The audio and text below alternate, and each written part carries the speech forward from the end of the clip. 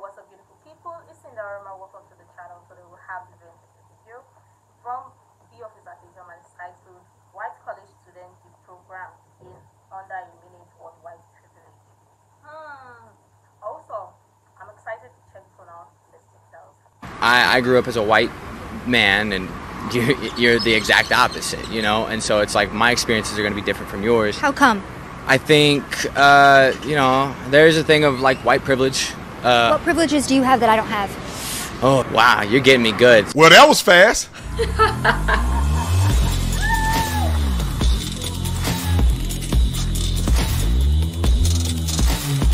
This video is brought to you by TatumStore.com. TatumStore.com, ladies and gentlemen. We have an exclusive discount on this particular jacket. We have the black version, the red version, and also this gray uh, jacket. Premium jacket. I'm making premium merch um, specifically for the Tatum brand line. So if you go on right now, you can see it. It has this embroidered Tatum right here for the signature Tatum brand, and then also a leather patch. I'm telling you guys, I've tested this in the wash and dryer dry clean this jacket. This is a real leather patch here. If you dry it, it's gonna have the, the leather is gonna fold around the edges. So dry clean this jacket when you get it. It is a premium jacket. Great material on the inside, pockets on the inside, zip up pockets on the side. Hmm. This is probably the coldest jacket you're gonna be able to buy on the market, in my personal opinion, for only $95. But for the time being, we're having a discount, 30% off. If you put in jacket 30, you'll get 30% off this jacket. Do it now because we don't have a lot of jackets left. And so jacket 30 get you 30% off this jacket. Like and subscribe to this channel. Hit the bell so you get notifications anytime I go live or make a video. Make sure you still subscribe, like this video, comment on this video, share this video. Let's get into this. Ladies and gentlemen, this is the quickest uh, uh, and most effective way to end the discussion on white privilege. This is this is it. You don't need to talk about it. No, you ain't to argue with nobody. There's no person that can overcome this beatdown and proving why white privilege is, is a complete myth, in my opinion. Now, shout out to the young lady, Sav. I think her name is Sav with one N. Sav with one N. Her, her link is right here. Uh, the right wing Oh, angel, yeah. Oliver Mack. Shout out to Oliver Mack for putting out all the good content. I like reviewing the stuff that he put out there. So, with that being said, let's watch this clip. The obliteration of the term white privilege in under one minute. Roll the clip. A white man and you're, you're the exact opposite, you know? And so it's like my experiences are going to be different from yours. How come? I think, uh, you know, there's a thing of like white privilege. Uh, What privileges do you have that I don't have? Exactly. Oh, see, that's the question I keep asking myself because, like, in this day and age, like all the laws, I say all the laws, you know, I'm, it's hard to speak on something I'm not fully knowledgeable of. So, like, I'm sorry if I like make a mistake uh, in saying this, but it's like, like, uh, Don't you think hmm. it's a problem in society when white people think that they have more privileges than brown or black people? Mm-hmm. yeah, and I think that's sort of the agenda that's pushed off because personally, it's like. Not that I think I'm more pri- privileged than anyone else because I had to work to get where I was, and that's Thank like you. Why do you have that mentality immediately where you, you know, kind of apologize to me? Like, let's talk about privilege. Let's talk about I'm a white man in America, so we could have grown up differently. Got you. Why, why is that your first initial reaction to me as a brown woman? Wow, you're getting me good. See, these are the kind of, conversations that I love having. Um, and I think it comes from a place of like, uh, I wouldn't say caution, but like in this day and age, people are so quick to judge and react and cancel. And so I guess it's that, that like caution to go into an interview like this. I'm like, I, I don't know where we're at, but now I know where we're at and I can like uh, go for real. I, I Now let me say this because I shout out to this young man. In no way, form, or fashion am I, you know, bashing him or, or making him look because I th- felt like he was incredibly honest, and I know exactly where he's coming from. You can't. You gotta watch what you do, depending on what interview, because he see a brown girl and he think it's woke, so he gotta he gotta follow the wokeness. Mm-hmm. And I argue, I would argue that most people in our generation don't believe this stuff and they know it's bullcrap, but they have to follow the woke. They have to they have to follow in lockstep, or people will cancel them and get mad at them and call them a racist. But listen, white privilege is is a made up term that people find that they can gain leverage by expounding or, or, or expressing. They can gain leverage politically and they can gain leverage emotionally. Mm-hmm. Because if they were to say there's a there's this proverbial white privilege, therefore it absolves you of any of your failures. If you're a black person in America and you failing and you, you ain't getting a good job and you you failing at life, you sucking at life, you don't need to look in the mirror. Cause there ain't nothing you can fix on your own. It's the white man. It's white privilege. The reason you don't have what your neighbor has is because you black and they white. It ain't because they work way harder than you. And that they stayed out of trouble. They're not in the criminal justice system. They haven't had kids out of wedlock. They got married. They got an education. None of that matters. It's just mm-hmm. because they're white and you black. This, this, this I, I wish that people would understand that this is a tool and mechanism that the left does Yes. in order to keep us separated so they can pick us apart. Yes. They want the black man to not talk to the white man. They don't want you to partner with him because if you partner with him, y'all will realize that they the problem.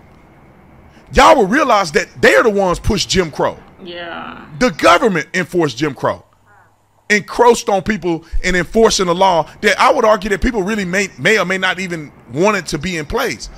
The government was responsible.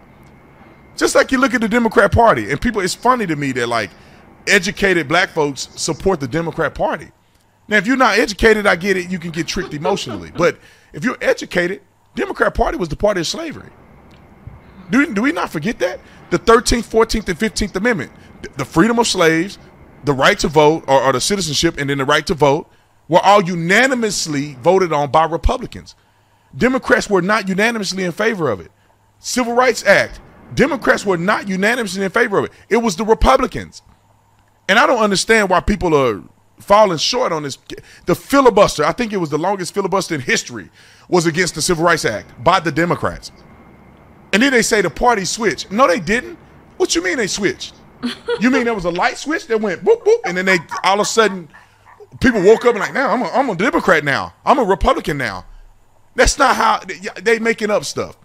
The Dixiecrats, two people, one in the Senate, one in the House, switched parties. That was the only Republicans that switched to Democrats, or Democrats that switched to Republicans. That were racist. Only two people. That was the big switch. No, it's not. Go look at the worst cities to live in as a black person in America, all run by Democrat. It's the same soup warmed over. They were in, they were enthralled in slavery. They were the reason slaves existed in America. Republicans were against slavery. Then you go down the list, you say Jim Crow. Democrats were for Jim Crow in the Jim Crow South. Democrats.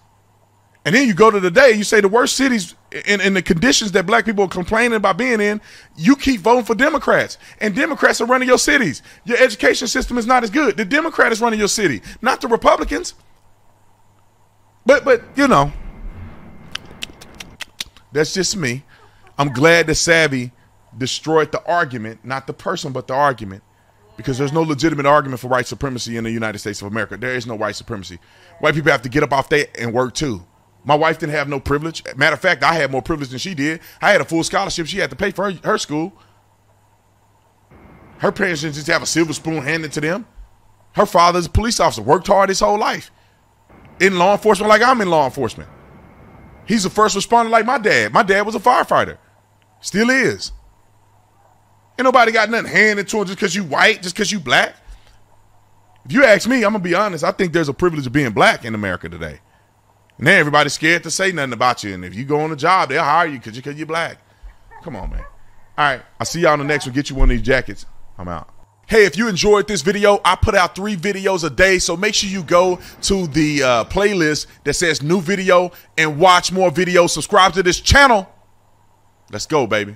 Oh my goodness, this was real. Um, you- um, like real, and glad that the switch was made instantly because um, this is what, like, it's, it's uh, God bless you, Brandon Tatum. And honestly, like I said before, this is what the, they want to create. They want to create like a divide between black and white.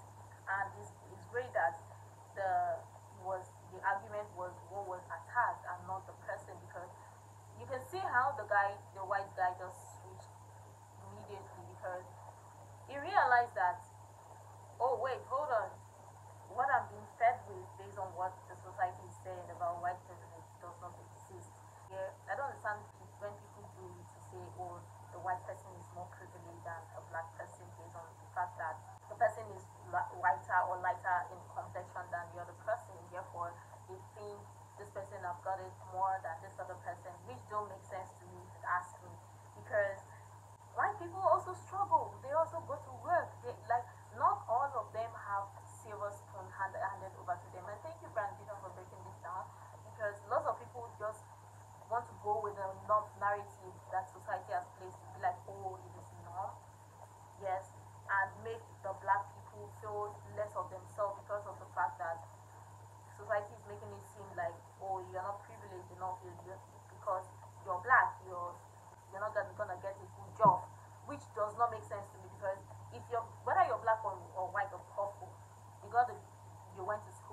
got a good degree and you got the skill, you go for the job interview and qualify for it, you get a job. As opposed to a white person who did not go to school, doesn't have the skills or